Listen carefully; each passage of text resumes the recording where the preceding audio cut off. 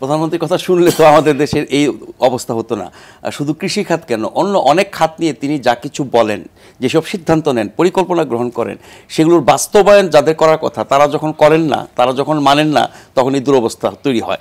আপনি সূচনা বক্তব্যে বাংলাদেশের কৃষি জমি, আমাদের ভূমি, ভূমির বাস্তবতা, তার সাথে মিলিয়ে পরিবেশ এই সব কিছু সম্পর্কে যেসব তথ্য আপনি তুলে ধরেছেন বান্ন বছরের বাংলাদেশের ইতিহাসে, তাতে এটা সবাই আমরা জানি যে আমাদের জনসংখ্যা বাড়ছে কিন্তু ভূমি বা জমি কমছে কৃষি জমি আরও বেশি কমছে কৃষি জমি আহ, অকৃষি কাজে ব্যবহার করা হচ্ছে আবাসন শিল্পায়ন এবং অন্য অনেক খাতে। নিশ্চয়ই আবাসনও প্রয়োজন শিল্পায়নও প্রয়োজন কিন্তু কতটুকু আবাসন আমি দেব আমার এই নির্দিষ্ট ভূখণ্ডের মধ্যে? কতটুকু শিল্পায়নের জন্য বরাদ্দ করব এবং কতটুকু জমিতে আমি চাষাবাদ করব? সেই হিসাবটা করা দরকার। এখন কৃষি জমি প্রতিনিয়ত কমলে আপনার উৎপাদন কমবে খাদ্য নিরাপত্তার ঝুঁকিতে পড়বে আমদানি বাড়বে আমাদের বৈদেশিক মুদ্রা খরচ হবে অন্য অনেক খাতে তার প্রভাব পড়বে এগুলো সবাই জানে। কিন্তু কৃষি জমি যেগুলোই আছে আমাদের, সেগুলোর দখল, বেদখল এবং সঠিক ব্যবহার, এই জায়গাটা মনে হয় বেশি গুরুত্ব দেওয়া দরকার। এখন ধরেন এই বান্ন বছরে কৃষি জমি কমে কমে যেটুকু এসেছে, তার সর্বোচ্চ ব্যবহার হচ্ছে কি না নাকি খালি পড়ে আছে? নাকি প্রতিনিয়ত সেই কৃষি জমি অকৃষি খাতে ব্যবহার করা হচ্ছে? ধরেন আবাসন এবং শিল্পায়ন নিশ্চয়ই অনেক বড় দুটি বাস্তবতা। আবাসনের ক্ষেত্রে আপনি যদি নির্দিষ্ট করে না দেন যে আপনি কতটুকু জায়গায়, কতটুকু বাড়ি ঘর কতটুকু ভবন তৈরি করবেন, যেসব দেশের জায়গা কম, তারা কিন্তু উপরের দিকে ওঠে। হংকং যেমন তার উদাহরণ। এই ভার্টিক্যাল আপনার অবকাঠামো যত বেশি বাড়বে তত আমার জমির আপনার সর্বোচ্চ ব্যবহার নিশ্চিত হবে।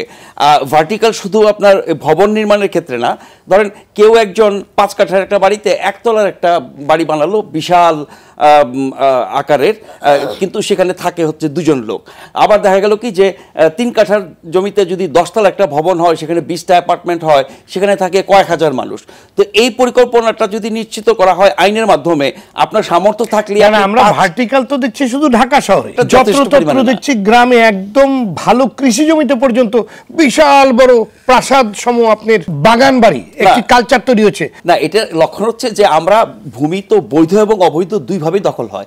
আমরা ভূমি খেকু ভূমিদস্যুতা ভূমি দখলদার জলাশয় নদী এগুলো তো আছেই।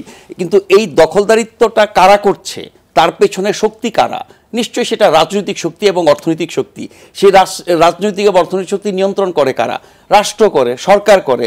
তারা যদি এগুলোকে নিয়ন্ত্রণ করতে না পারে তাহলে তো এরকম ব্যাহাত হয়ে যাবে এবং অপরিকল্পিতভাবে সব কিছু গড়ে উঠবে। আমি আপাতত শেষ করি যে আমরা এই কৃষি জমির যেটুকু আছে অবশিষ্ট সেটা যাতে আর না কমে কমে। এবং আপনার সামর্থ্য থাকলে আপনি দশ বিঘা জমির পর একটা জমিদার বাড়ি বানাবেন। তা তো হতে পারে না। বিদেশে গাড়ি কেনার জন্য লাইন দিতে হয় অ্যাপ্লিকেশন করতে হয় পাঁচ সাত বছর অপেক্ষা করতে হয়, তারপর একটা গাড়ি কেনে। আর আপনার এখানে টাকা হইলে আপনি সকালে, বিকালে হাজার হাজার গাড়ি কিনতে পারেন। একইভাবে বাড়ি করতে পারেন। যেটা প্রধানমন্ত্রী বলে থাকেন এটা গুরুত্বপূর্ণ। যার যেটুকু জায়গা আছে, আপনার বাড়িতে ধরেন তিন কাঠার মধ্যে দুই কাঠা একটা বিল্ডিং আছে আর বাকি যে এক কাঠা খালি জায়গা আছে সেখানে আপনি চাষাবাদ করেন সেখানে আপনি ফল ফুলের গাছ লাগান সেখানে আপনি বাগান করেন তাতে করে পরিবেশও বাঁচবে আপনার উৎপাদন হবে উপকার হবে। প্রধানমন্ত্রী নিজে উদাহরণ দিয়ে দেখিয়েছেন গণভবনের ভিতরে কি? এটা যারা আওয়ামী লীগের নেতা নেত্রী আছেন তারা তো বটেই সাংবাদিকরাও ভিতরে গেলে দেখেন উনি নিজেই ভিতরে একটা বিশাল কৃষি সাম্রাজ্য গড়ে তুলেছেন। তো উনি তো খামার বাড়ি তৈরি করেছেন উনি তো নিজে করে দেখিয়েছেন কিন্তু ওনার দলের যারা অনুসারী ওনার যারা মন্ত্রী এমপি নেতা না না নেত্রী তার তো কর্মী বাগান বাড়ি তৈরি করছে। হ্যাঁ। ওখানে তো সমস্যা। হ্যাঁ বাগান বাড়ি তৈরি করছে বাগান বাড়ি তৈরি করে বিলাসিতার তো হবে না। তার কোনো উপকারিতা নাই তার কোনো উৎপাদন নাই তাতে কোনো দেশ উপকৃত হচ্ছে না। সেই জায়গাটা আমার মনে হয় আইন তো অনেক আছে তার প্রয়োগ নাই। আরও আইন করা দরকার যে আপনার সামর্থ্য থাকলেই টাকা পয়সা থাকলে আপনি যা কতটুকু কিনতে পারবেন পারবেন। জি।